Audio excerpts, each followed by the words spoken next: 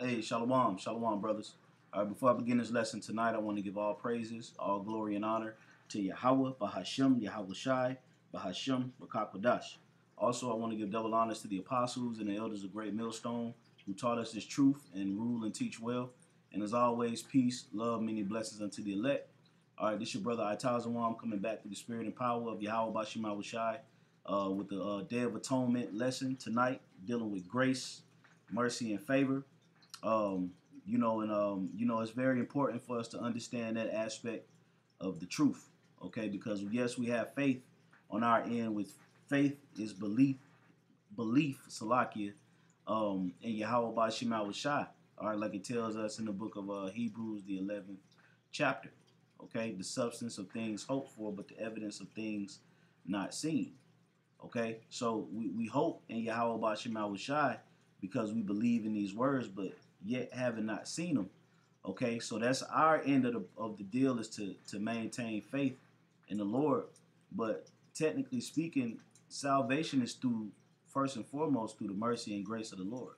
Because if the Lord had not opened up the mercy for us to enter into eternal life, then what is faith without that grace? So I just wanted to go into this tonight, especially considering the fact that we are in the Day of Atonement, which this is a good time to bridge that gap uh, between you know you, yourself, and Yahweh was shot. Okay, because we separated, we were separated uh, from the Lord through our iniquities and through our transgressions. But now through that mercy, the Lord is allowing us a way back to be reconciled with Him before all hell break loose. So a good way to do that is to seek the mercy and the favor of the Lord. Okay, so that way you're parting from all the destruction that's getting ready to come upon the earth. Okay, so I'm gonna go ahead and start with this scripture. Lord willing, this is a uh, edifying lesson. Okay, uh, this is the uh, Ephesians chapter two and verse eight. It says, "For by grace are ye saved through faith," and that's straight to the point. So it's the grace in, in which we'll be delivered. The Lord's grace and mercy is going to be bestowed upon uh, the elect uh, men, women, and children. But those that are going to be given that grace are going to be those that are in obedience. It just it ain't just going to be any nigga or nigga woman uh, that know the truth but still do whatever the hell they want to do and be talking shit, you know, and uh, uh, bullshit and teaching the things that they ought not teach. Uh, um, you know, doing doing all manner of evil and wickedness, but then you know uh, uh, act like they doing the right thing. See, the Lord is, is not gonna have that mercy and that favor upon those rebellious Israelites.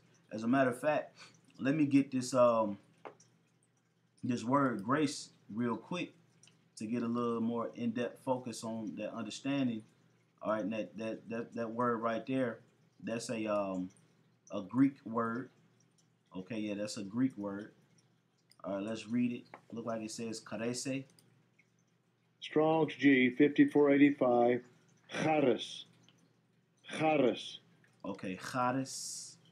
Right. So it says the definition reads grace, that which affords joy, pleasure, delight, sweetness, charm, loveliness, grace of speech. So the grace of the Lord is is, is what affords us, you know, uh, uh, the joy.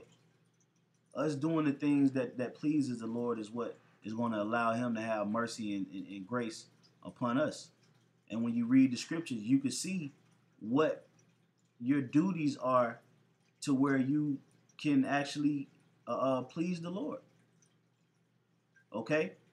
When you go through the scriptures, it tells you exactly what to do in order to get into the good graces of the Lord. You got to be obedient, do the work. All right? Uh, um, pray, fast, read, study, be in order. Don't be rebellious, you know, to the orders that's being established in the churches. You know, if you're uh, sisters, don't be rebellious to your husband, talk talking back, talking shit. Okay, these are all the things that that that's going to afford you the grace that you're looking for. Okay, anything else outside of that, you gonna you gonna you gonna find some serious stuff real soon coming down the pipe because Esau ain't playing. Okay, there was a um a storm that came through the Midwest yesterday. It was a lightning storm, but the people up in Ohio and Detroit, they said that the lightning was so loud that it, it sounded it sounded like nuclear bombs was going on. Okay? So if you can see what's going on in the earth, these plagues are, are, are not slowing down, they're increasing. You see what just happened in Hawaii. You see what just happened up in Canada with those wildfires. Now they're going back into a second stage of uh, shutdowns and lockdowns. Okay? So the Lord is going to increase the plagues because why? The Lord sent the prophets out there during that whole pandemic situation. And what happened? You people still didn't get the memo.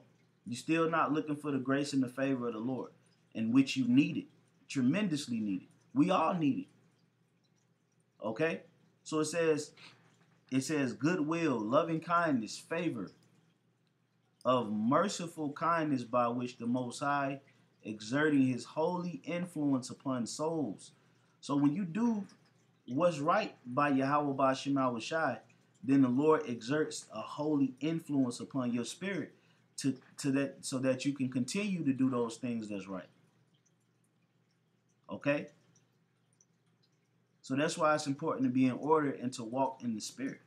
So that the Lord's influence can be upon you. Remember the scripture say that wisdom cannot dwell in a malicious soul. So if you have malicious intent in your spirit, the Lord's spirit is not going to dwell with you. And his, he's not going to exert his holy influence upon your soul. Satan is. And Satan is going to lead you right to that good, glittering, fat, old-fashioned sword that he getting ready to swing. A lot of you jakes is going to die real soon, man. Okay? And we've been saying this for years, and it sounds redundant like a broken record. But a lot of Israelites, blacks, Hispanics, and Native Americans are about to lose their life in a very, very miserable way. And we hope that we don't. Because we don't even know. We, we have no idea, and we've been doing the work. Okay? Even those that have done the work, when you read the scriptures, it speaks about those that will be beheaded for the witness of the testimony of Yahweh Shai. It speaks about those that are going to lose their life in the coming times that are actually men of the Lord. So we still don't even know if, if, if you know if we're going to make it to you know the finish line, man. That's why we pray for the mercy and the grace of the Lord. All right, so let's go back to the scriptures, and that's how you break the scriptures down. Even though that was a little piece of the, a part of the scriptures, you got to go go deeper to give the sense. So I'm gonna read it again, Ephesians two and eight. For by grace, which we just read, what grace was, okay, are ye saved? That's the initial uh, tier, the first tier of salvation is that the Lord's mercy is going to be extended unto you. And then, if the Lord is going to extend that mercy unto you, on your end of the deal, you have to believe. Okay? You have to believe on Yahweh Bashim Shai. You got to listen to his prophets, his men. You got to do everything that the scriptures tell you to do to the best of your ability. Okay? That's a act. These are acts of faith that's going to lead you into that grace. All right, it says, and that not of yourselves, meaning none of this is of ourselves. Just as we could cut on this red button and, and, and, and speak, it could be taken away from us. Because this is not our message. This is the Lord's message, and we are the Lord's messengers. And if you continue to rebel, the Lord takes that away from you. This truth can be taken away, man. That's why we got to pray for that mercy and that grace and that favor. Mercy in the Hebrew is chesed. All right, chesed. All right. Um, I believe um, um, grace is the same thing, if I'm not mistaken, or it might be chanak. Is is one of those. Um, but mercy and mercy and grace, you need it. Okay, you know I send my prayers up every day. I ask the Lord for the Lord's mercy. You know, chesadka. That's how you say when you put the ka at the end, it, it, it makes it uh your. All right, your mercy. Okay, Nathan Laya Chasad Ka Mayan Chataya, uh Chatayam uh Chatayamya, which means my uh uh, uh Yahweh Bashima Washai Nathan Laya, which is uh give to me Chasad Ka, your mercy or your grace, Mayan from uh Chatay Chatayam Chatayamya, which is my sins. You know, if you ain't praying, asking the Lord to forgive you for your sins every day, you you behind the curve. Okay?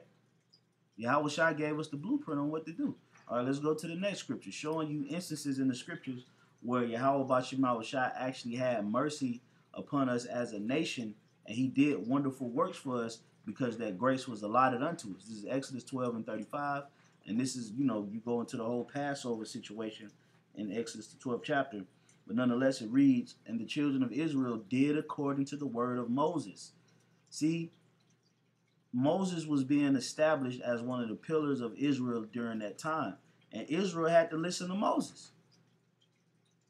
So when they listened to Moses, they found that favor in the Lord. They couldn't just do whatever the hell they wanted to do. The Lord had set Moses up, and they had to follow what Moses said do because the Holy Spirit was with Moses. So it's the same thing in these latter times. You have men of the Lord that's being established throughout the four corners of the earth, and whom Yahweh Bashimah Shai is pouring a, a, heavy portion of his spirit on, and you got to listen to those men. That's why they doing the things that they doing on the highways and byways. Okay? See, this world uh, uh, pushes out this feeble mentality that you could do whatever the hell you want to do without any repercussions um, or, or uh, consequences. Okay, but in order in order for you to avoid those consequences, you got to listen. And the Lord established people in the earth, primarily men, and He given them, doused them with His Holy Spirit to tell you the right things to do. Okay, so that you can find favor in the Lord. The Lord's not going to come down here talking to every goddamn body. Neither does a president of a company talk to everybody that work for him. He talk to certain people. They tell you what to do and you got to listen. That's the same thing that's happening now in, in the spirit, but a lot of people can't receive the Lord's prophets. Okay? So it says, and they borrowed of the Egyptians jewels of silver and jewels of gold and raiment. Here's the point, verse 36. And the Lord gave the people favor in the sight of the Egyptians. Meaning the Lord did wonderful things for the children of Israel in the sight of the Egyptians. And guess what? That favor of the Lord is getting ready to come back upon us as a people in the sight of all these other nations again. Starting with the so-called white race, because we in the neck we in the neck of our enemies. Okay? And the Lord's gonna start to show, you know, this world who he who he's protecting and who he's with. And you rebels, man, you you you wicked jakes out here, you, you ain't gonna get that favor. You're gonna be getting steamrolled out here, man. And the Lord's gonna have it set up to where it's gonna happen. Okay? Because our people have become complete degenerates in rebellion, and all they do is follow after the so-called white man, and they give him all the credence and kudos in the world. But the jakes that's on the highways and byways risking their lives and freedoms to tell you the truth so that you can repent and turn back. You treat them like shit. So that's why the Lord is preparing that sword for you jakes, you men and women that act like that, man. And you children. The Lord ain't gonna spare none, man.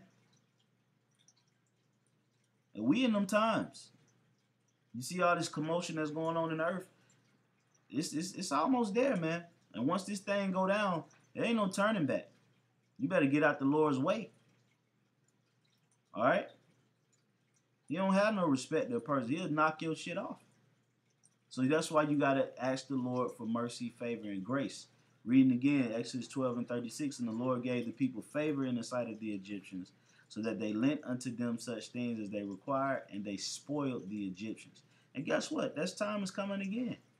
Who are the modern day Egyptians? These Americans. And the Lord is going to be providing certain necessities and resources from these Americans and giving it to his people the elect of his people, might I add, because that's who it's about. The elect. It ain't just about every Jake. All right, or just because you're a supermodel with a with a dump, you know, with a you thick, beautiful. The Lord don't care about that. The Lord don't care if you got a six pack and that you got a 40 inch vertical. The Lord is looking for those that are obedient, the elect. The elect are the only ones that's going to walk in that obedience, man, and hold themselves to that that that uh that degree of um wisdom, knowledge, and understanding. Everybody else, they just gonna do whatever they, the hell they gonna do until Esau roll. Okay, so look for the favor and the grace. This is Lamentations chapter three, and um, I'm gonna start at verse uh, 22, right to the point. It says, "It is of the Lord's mercies that we are not consumed." It's not. It's not because of us. It's not because of Martin Luther King rose up and, and got us, got Jake to march and get their ass whooped on that white bridge in Selma, Alabama. That that was to no fucking avail. You know, they think they hit some pivotal uh, milestone by marching on the bridge, but when you do a recap, all you see is goddamn fire hydrants and German shepherds tearing Jake ass up. So how in the hell did Jake overcome? They didn't overcome. It was because the Lord didn't allow the so-called white man to consume us. And trust me, that's on his agenda. But it's the Lord's mercy. Uh, as a matter of fact, let me get this quick scripture real quick to prove that point in the book of Isaiah. And then we'll jump back to that scripture. Isaiah 1, go down to verse 9, man. All right, it reads right here. Except the Lord of hosts had left unto us a very small remnant, we should have been as Sodom, and we should have been like unto Gomorrah. So it's really the Lord having mercy upon the elect that he didn't allow these other nations to consume us. That's why the elect is going to be established over the whole house of Israel. And they're going to be responsible for bringing back the two thirds and all the the, the, the, the, the, the rebel Israelites, man. Because they're the ones that's actually following the, the voice, the good shepherd, Yahweh Okay, and he's leading us back to the Father. We're making that reconciliation. We with that atonement. The atonement has already been made. Yahweh is the atonement. And, and, and, and, and through that atonement, the elect is being reconciled back to the Heavenly Father through Yahweh from the obedience of the scriptures. So it's the Lord's mercies, first and foremost, that we're not consumed. Okay? It says, because his compassions fail not. The Lord is very compassionate and understanding. So to get the Lord to this point that he's about to get to, it really shows the level of disrespect and rebellion in the earth. All you gotta do really is look on social media. Every single day, every single day, there's rebellion going on against the ways of the Lord. Every day. The gender wars on, on social media is tiring and pointless. Everybody think they saying something, they ain't saying nothing. Women are getting women are just complete. They just completely hate men, but need them for every fucking thing. Men is is, is, is turning faggots and homosexuals. Okay, killing and killing their kids, doing all kind of drugs, slanging drugs, killing each other. Women are harlots and sluts and hoes, and then they condoning it. Okay, this is the type of activity that's going on in earth. Where's the elderly, aged woman at rebuking and condemning this type of behavior? Nowhere. They're they're they're they're encouraging it. They're telling these these young women live their best life, be delusional, be toxic. But if you go into the, into the scriptures, the righteous women back in the day, they will cuss cuss the, or some of the good women cuss these goddamn women out. They're going to show you how evil this world has gotten. So to get the Lord to the point to where He's getting ready to bring this level of wrath, considering the fact that His compassions fail not, it's because you people are fucking up. Okay? It's because your black asses, Hispanic and Native American asses, ain't trying to get right with Yahweh Bashim Shot. After all this shit that just happened recently with the whole shutdowns and uh, uh, you know the whole situation that happened, you would think that we would have found, uh, Jake would have found some type of logical, you know, uh, reason to to seek the face of the Lord, and yet we get worse. But the elect is getting better, like the scriptures say. The tabernacle of David shall wax stronger and stronger. And when you look at brothers and you look at their their spirits and you look at their um, you listen to their lessons and their speech patterns and their dedication and the love that they have, it's growing, it's increasing. We adding fruit to the body, and we and nothing is stopping us. Because it's the Lord mercy that's continuing to fill us up, and He's He's He's the one that's acting upon our soul and destiny, man. And Lord willing, he continues to do that. All right. It says, It is the Lord's mercies that we are not consumed because his compassions fail not. They are new every morning. Great is thy faithfulness. Okay. This is King David. Uh, no, Salaki. This is Jeremiah. Okay. Jeremiah wrote the book of Lamentations. Okay. And he's talking about um, the compassion that the Lord has had upon us as a people. If you think about all the things that we've done to our power, but we still have an opportunity to be delivered, that's nothing short of the grace and mercy of the Lord. And pray for it. Ask for it, man. Okay? Because the Lord will give it. But in return, you you you can't just the scripture speak about. Matter of fact, let me get that real quick. In the book of uh, where's that? I haven't read that in so long. I believe it's Ephesians four and thirty. Let's see if I'm on point. Well, yeah, that's that's a good one. Ephesians 4 and 30. All right, it says, And grieve not the Holy Spirit, whereby ye are sealed unto the day of redemption. Or frustrating the grace. Okay? You don't want to frustrate the grace, man. Where you doing things that you know you're not supposed to be doing, but you continue to do it because you're a rebel. Let me see if I can find it. You don't want to do that. You don't want to frustrate the grace of the Most High. You want to ask the Lord to have mercy and grace upon you and then be obedient to the best of your ability. This is Galatians 2 and 21. I do not frustrate the grace of the Most High. Yeah, because just because the Lord is having mercy and grace upon us don't mean you take your big back ass out there and eat pork like you Christians do.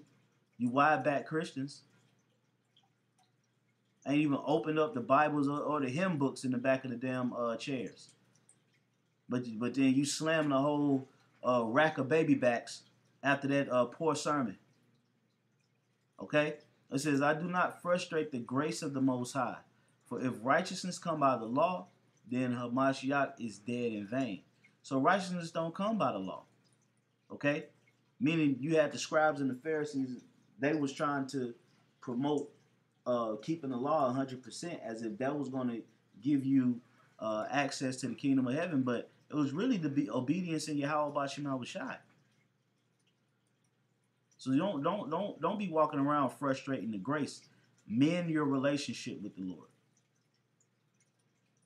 Okay? We have the opportunity every day we wake up to make things better between yourself and Yahweh Bashim. Just as his mercy is new every morning, so should your drive be to, to, to serve the Lord and to do right for the Lord and to be in order.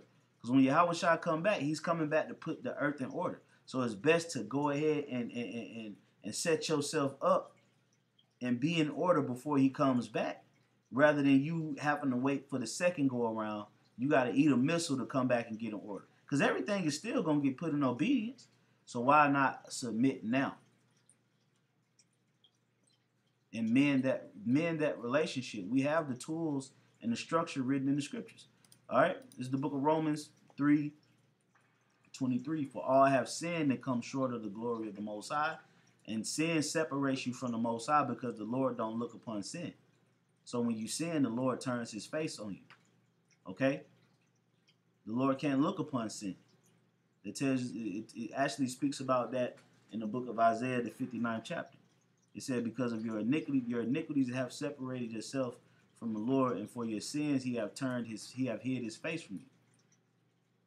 But when, when you do good, the Lord looks upon you and he shines his face upon you, and that glory and that light of the Lord, it it it it, it, it shapes and molds your spirit. This is this is real stuff that we dealing with. That's why you look at Jake. Jake be having them dark ass countenances. You know what I'm saying? Just complete gone because the, the, the Lord ain't with him. You know?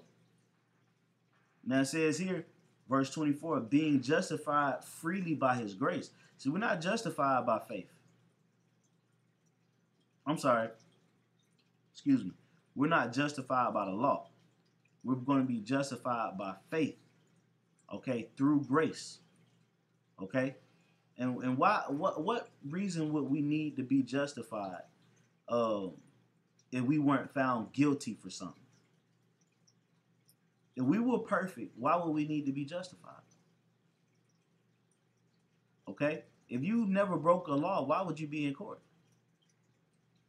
If you never did anything wrong, why would you have to go before a judge to be justified of a crime that you never committed? So the simple fact that we need to be justified tells us alone that we've transgressed and we've fallen short. Okay? Because we need justification. Justif- and what do we need to be justified from? Sin. Because sin is the wages of death. But we looking to escape death and inherit eternal life through what? Salvation, man. And salvation is going to come through the Lord having grace. That's how we're going to be justified. And Yahweh Shai is the one that's pleading the cause for the elect to the Most High. Before the Most High open up the, uh, all destruction, you got Yahweh Shai and the angels. They're going before the throne of the Most High, justifying the brothers and the sisters, the few sisters, all right, that are truly believing. Okay? That are truly turning back. And Yahweh Shai is pleading the case for this for this group of people before the Most High, and the Most High is actually going to com- uh, authorize the protection of the elect. Okay, being justified freely by His grace through the redemption that is in Yahweh Shai Hamashiach, because we were redeemed by the blood of Yahweh Shai, by the shedding of the blood. It covered, you know, it covered us. So that's how we that's how we got the redemption through Yahweh Shai. Okay? So last scripture before I close out, get ready to take it in. This is um the book of Wisdom of Solomon, chapter 12, dealing more with mercy and how the Lord issues out judgment. He's a very, very careful judge. And, he, you have to think he's the he's the he's at the pinnacle, he's at the height or the pinnacle of existence. No nothing is above the Lord's head. Nothing is above the Most High. Okay, the Lord is at the height of all existence. So, and, and he's he's carrying out judgments on the earth that that's hundred percent accurate. The Lord has never made a mistake in judgment. Okay, they go to show you how powerful He is. Even in the times to come, it's not going to be a "oops, my bad, I didn't mean to get him." Everything is going to go out exactly how the Lord wants it to go out. The Lord's not going to miss a single judgment, whether it's going to be for destruction or whether it's going to be for salvation. The chariots ain't going to leave nobody. Have to turn around and go back. I forgot to get this one, Lord. I didn't see him. No, the Lord is perfect, man. And that go to show you how powerful you have to be to judge bill, 8 billion people accurately. You have Esau can't, you know, judge a, a normal case you know, nigga be fucking up, you know, don't know the law. But the Most High is judging the whole planet Earth in righteousness and in, in 100% accuracy. So this is real quick. This is how the this is how the Lord divvies out uh, judgment. All right, this is it says um um I'm gonna just get right to the point. Wisdom of Solomon 12 and 20. But if thou didst punish the enemies of thy children, and the condemned to death with such deliberation, giving them time and place whereby they might be delivered from their malice, going into the other nations. Okay, they're the enemy of, of us, uh, of the children of Israel. Okay, the children of Israel. All right, but he he, he, he condemned them, but he say with he he say he judged them carefully. Verse twenty one, with how great circumspection did thou judge thine own sons? All right, the Israelites. So if the Lord judges the enemies with such deliberation, then how greater does the Lord judge his own children? That's how you know the things that happen are predestined. It says, Unto whose fathers thou hast sworn, going to the promises with Abraham, Isaac, and Jacob, and made covenants of good promises Verse 22. Therefore, whereas thou dost chasten us, yes, we do face chastisement because we, we, we go off. We're in this flesh. We slip. So when we slip, the Lord chastises us. The Lord get on our ass. But just because he chastises you, don't mean that he's casting you off. He's he's correcting you. Okay? He's correcting you about your behavior, something that you might have did that he was that he wasn't pleased with. So he sent the judgment out to chasten you so you can correct that behavior, not to destroy you. See, what the problem with this world that we're living in is people don't take chastisement how they're supposed to take chastisement, especially women. Okay? They don't know how to take the chastisement. They feel they they they, they immediately play the victim card. So therefore, it doesn't leave room for accountability. It leaves room for deflecting, and that's why the world's in complete shambles. Especially, and it is under the so-called white man. He's the king of it. He's the king of, of, of not knowing how to take chastisement, man, and deflecting. That's why our women act like that, because they got the spirit of, of Esau on them. Okay? It says, Thou scourges our enemies a thousand times more. So if he chastise us, he say he going he scourge our enemies a thousand times more than the little chastisement that we get. To the intent that when we judge, okay, you know, us brothers that's that that, that go into the scriptures and that understand the scriptures, understand the judgment. So so when we get chastised, we gotta remember well, if I'm going through, it's a heathen out here, goddamn, with a foot growing out his goddamn chest. Okay? Well, he got his brother toes. You know, uh, there was a Siamese twin, but he got his brother toes growing off his kneecap. But you know, we, we might run out of gas. See? You might, you know, go through some, you know, financial troubles here and there, but it's a heathen somewhere out here with with, with a a goddamn with, with five kneecaps. Okay, it says when we judge, we should carefully think of thy goodness. And when we ourselves are judged, we should look for mercy. So even when we're going through certain things, you can feel like, man, the Lord is on my ass, man. In the midst of these judgments, we should look for mercy because we understand that the Lord compassions fail not, that his grace and mercy endure forever. So pray for mercy and grace and favor. With that, I'm going to go ahead and close out. Lord willing, I was edifying to the elect, men, women, and children, giving all praises, all glory, and honor to Yahweh, Bashim Al-Bashai, Bashim Kakodash. A double honors once more to the apostles and elders of Great Millstone. Peace, love, many blessings to the elect. Shalom.